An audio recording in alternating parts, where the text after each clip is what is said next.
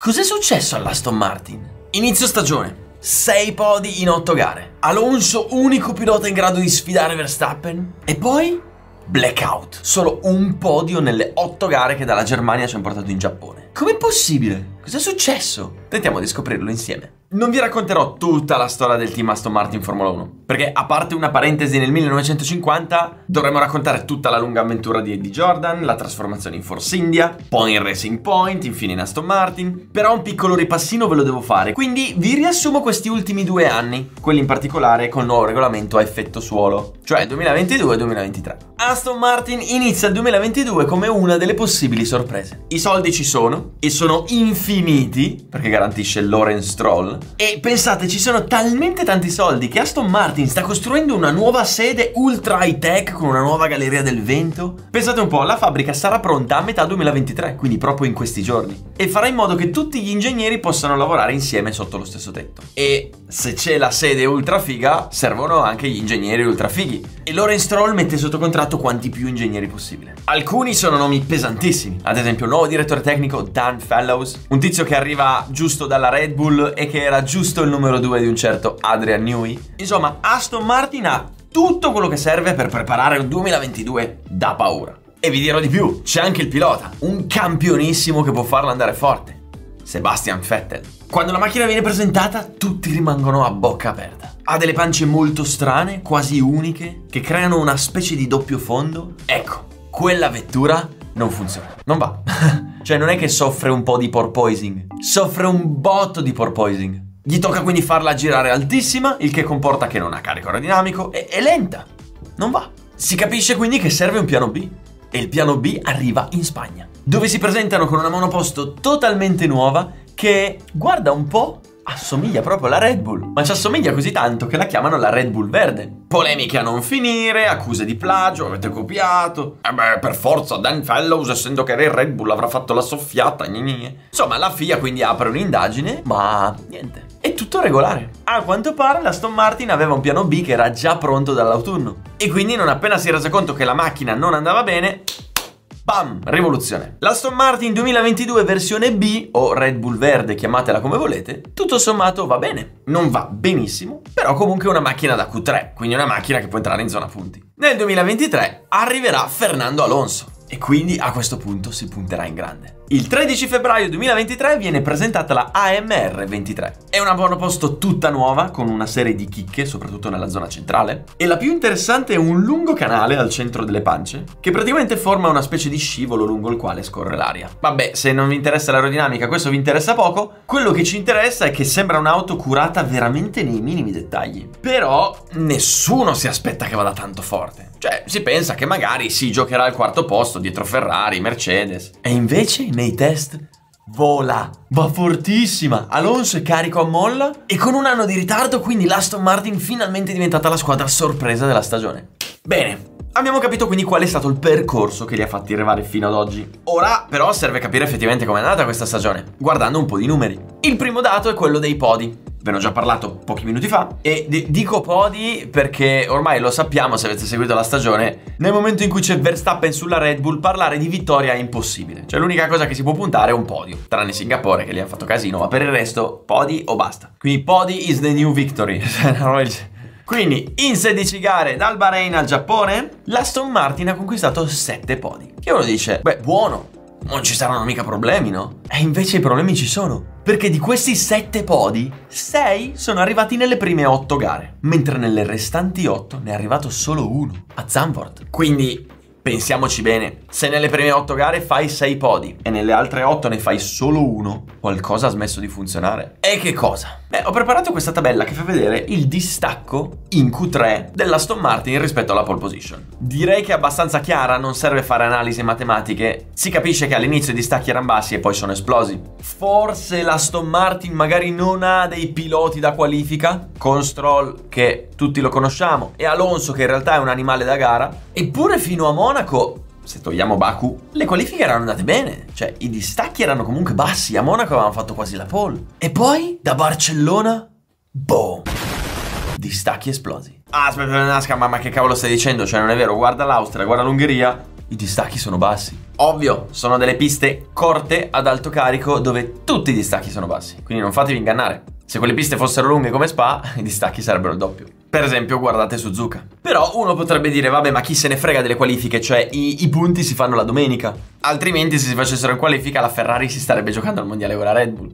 Quindi ho studiato anche il distacco accumulato dall'Aston Martin in gara rispetto al vincitore. Aspetta, Nasca, scusa, ma se entra una safety car eh, si azzerano i distacchi, che cavolo di calcolo è? L'abbiamo fatto in maniera intelligente questo calcolo, cioè se negli ultimi giri entrava una safety ho preso il distacco prima che entrasse la safety. Beh, direi che anche questo grafico è estremamente eloquente. Si vede quanto l'Aston fosse forte all'inizio della stagione e quanto lo fosse soprattutto in gara. Cioè, mantenere un distacco dalla Red Bull tra i 20 e i 30 secondi non era banale.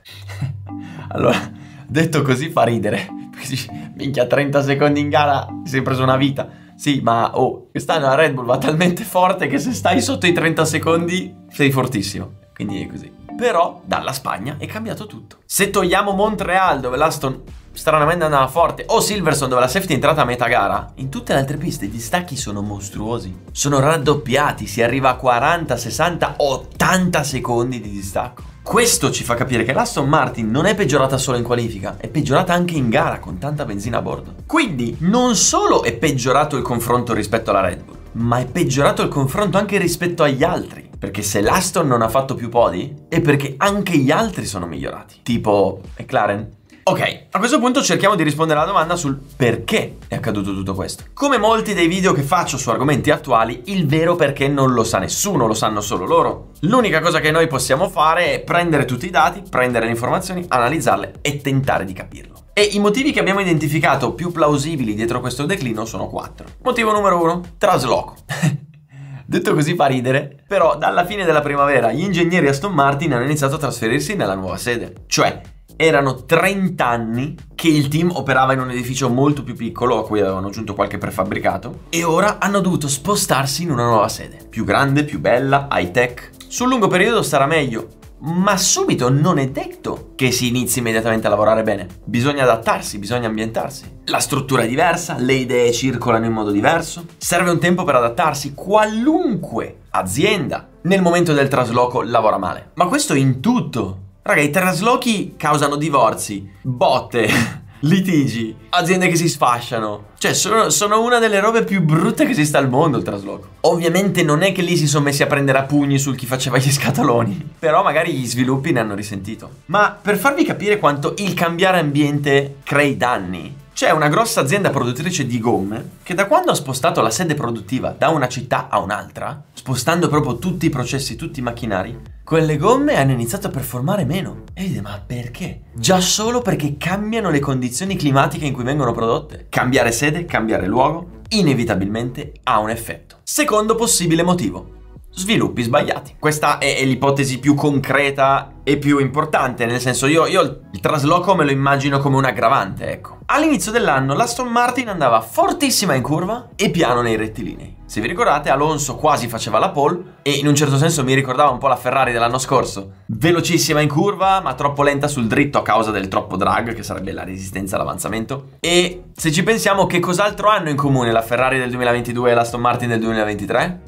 Sviluppi poco efficaci. Sì, perché se parti da una macchina che ha tanto drag, non è facile riuscire a renderla veloce sul dritto. E quindi che cosa può succedere? Può succedere che nel tentativo di svilupparla e migliorarla, si sbaglia strada e non la si riesce a migliorare tanto quanto si sperava. Anche perché ricordiamoci una cosa, non è che stanno tutti fermi, anche tutti gli altri migliorano. Quindi, se si inizia che Aston Martin è qui e McLaren è qui, e Aston Martin la migliorano di tanto così, ma McLaren la migliorano di tanto così, Aston Martin non è che ha peggiorato, ma non ha migliorato tanto quanto gli altri. Quindi mi viene facile pensare che Aston Martin nel tentativo di sviluppare la macchina abbia scelto una strada sbagliata o magari non così tanto efficace come gli altri. Terzo possibile motivo. Programmazione. Banalmente, magari Aston Martin non ha mai puntato tutto sul 2023. Certo, sicuramente hanno puntato a migliorare, però potrebbe anche darsi che una volta raggiunto l'obiettivo di fare bella figura e portare a casa dei podi, le risorse di quest'anno le abbiano destinate al 2024. Chissà, magari per arrivare a vincere il mondiale, magari per fare un salto di qualità talmente grande da puntare a battere Red Bull.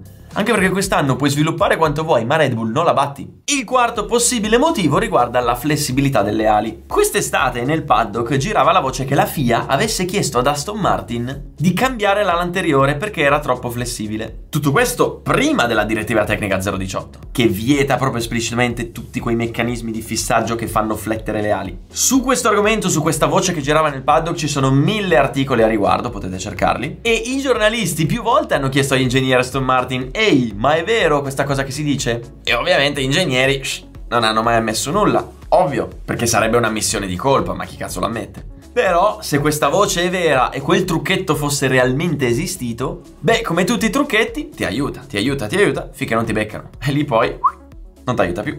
Quindi può anche darsi che quel trucchetto contribuisse a far andare forte la Aston Martin.